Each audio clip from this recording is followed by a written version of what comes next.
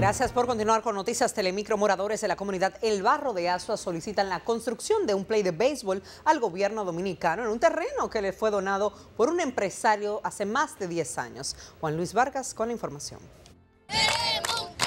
Jóvenes líderes comunitarios del Distrito Municipal El Barro solicitan al gobierno la construcción de un play de béisbol, ya que los niños practican en condiciones deplorables. Al presidente Danilo Medina que nos ayude con eso. Estamos hablando desde el barrio, estamos hablando de corazón.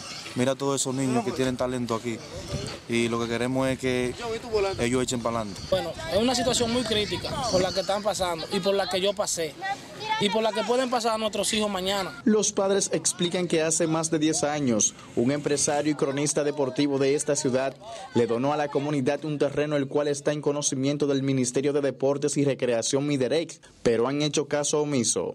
El señor empresario Ángel Darío Ramírez siendo yo parte de las autoridades de aquí del Distrito Municipal, siendo regidor hace más de 10 años, nos regaló 400 metros al cuadrado y ninguno de las autoridades que han pasado le han puesto caso al terreno. Los jóvenes piden que se le haga un play para ellos practicar.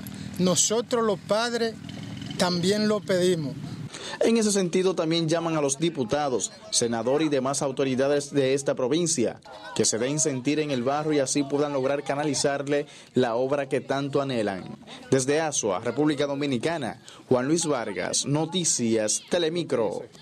Tenemos el tema, el Instituto Nacional de la Vivienda INVI entregó este lunes siete viviendas a igual número de familias quienes fueron afectados por un fuego el pasado 10 de febrero en el sector Huachupita del Distrito Nacional. Los beneficiados agradecieron la ayuda de volver a tener un nuevo techo. Eh, levantaron la casa, está muy bella.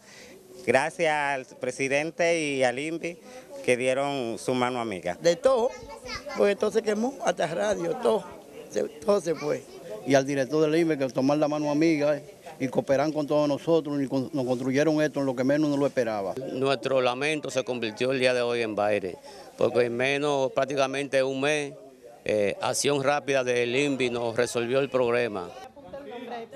Ahora estas familias esperan que el plan social acude en su auxilio y les done colchones y otros enseres del hogar. Cambiamos de tema, la sequía que afecta al país podría prolongarse otro mes y es la más larga de los últimos 30 años, dijo este lunes Emilio Toribio, director del Instituto Agrario Dominicano. Afirmó que la zona noroeste es la más afectada por la situación en materia agropecuaria, por lo que el presidente Danilo Medina destinó una comisión para llevar a cabo un plan para darle apoyo a los productores agropecuarios.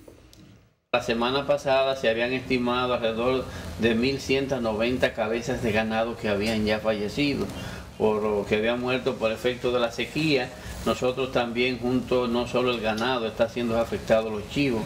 Hay alrededor de 150 eh, cabezas de chivos también que han muerto, unos 46 cabezas de ovejos, pero eh, eso quiere decir que también ha disminuido la producción de leche. Entrevistado en el programa matinal de esta planta televisora, Toribio dijo que además por el momento no ven necesario declarar al país en emergencia a raíz de la sequía que nos afecta, ya que se les da asistencia para subsanar la situación a los afectados. Y al regreso, retorna la Liga de Voleibol Superior este lunes con doble jornada. De eso hablamos tras la pausa en las deportivas. No se muevan. Juan Luis Guerra adelanta detalles de su nuevo disco. J-Lo está felicísima con su anillo de compromiso y Bad cantará en El Soberano.